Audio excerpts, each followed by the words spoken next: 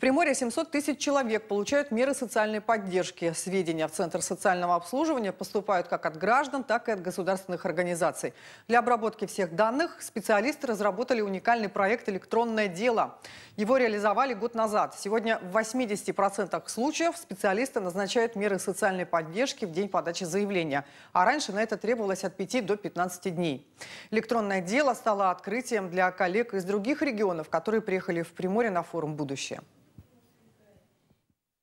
Мы, Приморский край, а, впереди всех регионов реализовали такой замечательный проект. Основные плюсы этого, что вся информация о человеке, о получении им всех мер поддержки, всех расчетах а, находится компьютере в одном месте, в электронном так называемом деле, куда может зайти любой специалист нашей системы, начиная от отделения приема, куда, собственно, обращается гражданин, до отделения выплат, начиная с того периода, когда человек обратился. То есть, если он обратился 10 лет назад, значит, вот за весь этот период все расчеты есть в одном комплексе.